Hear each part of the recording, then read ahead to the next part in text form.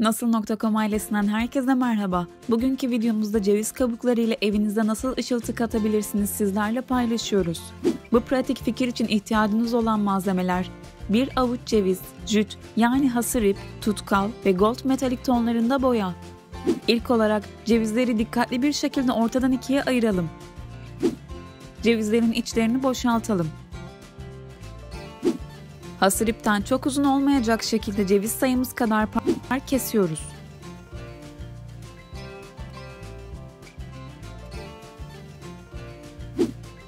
İçlerini boşalttığınız ceviz kabuklarının içerisine ve kenarlarına tutkal sürün.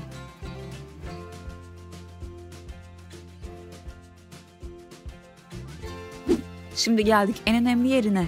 Elimize bir parça hasır ip ile bir adet ceviz kabuğunu alalım. İpin iki ucunu ceviz kabuğunun çok içeriye kaçmadan ucuna doğru yerleştirelim ve ardından ceviz kabuğumuzun eşini alıp birleştirelim. Diğer ceviz kabuklarına da aynı işlemi uyguluyoruz.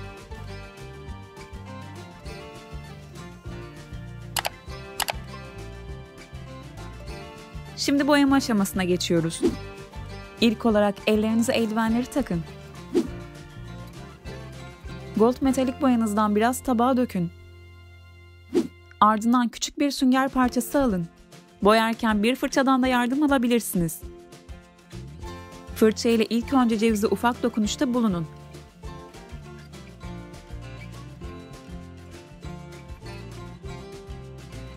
Ardından sünger ile boyayı dağıtın. Boyayı her yerine dağıtmak zorunda değilsiniz. Cevizin o dalgalanmalarını hissettirmeniz için çok fazla boya sürmemenizi tavsiye ederiz. Kalan diğer tüm ceviz kabuklarına da aynı işlemi uygulayın. Ve işte bu kadar. Altın ışıltısı kattığınız ceviz kabuklarını evinizin dilediğiniz köşesinde kullanabilir, evinize ışıltı katabilirsiniz.